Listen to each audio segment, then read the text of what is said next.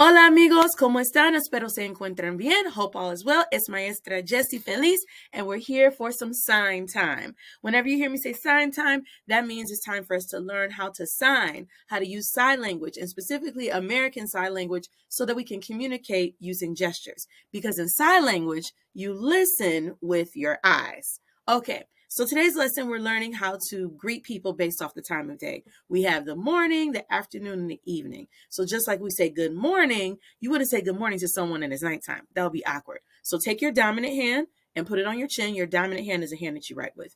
I'm right-handed, so that's my dominant hand. And then take my other hand. This represents a horizon, that line that separates the sky from the earth or the water.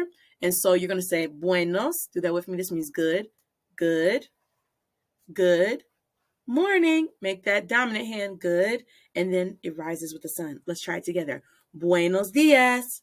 Buenos dias. Good morning. Good morning. Bueno. So when you greet someone in the morning, you greet your mom, your dad in the morning. Buenos dias, mamá. Buenos dias, papá. Perfecto. Now, good afternoon is going to be buenas. This still means good, but the sun is up. Buenas tardes. Buenas tardes. You see the sun is up in the sky buenas tardes, right? And then for good night, it's going to be buenas, but the sun goes down, noches. Buenas noches. Buenas noches. Let's review. So good morning, you rise with the sun. Buenos dias. Good afternoon. Buenas tardes. Good evening or good night. Buenas noches. One more time. Buenos días. Buenas tardes. Buenas noches.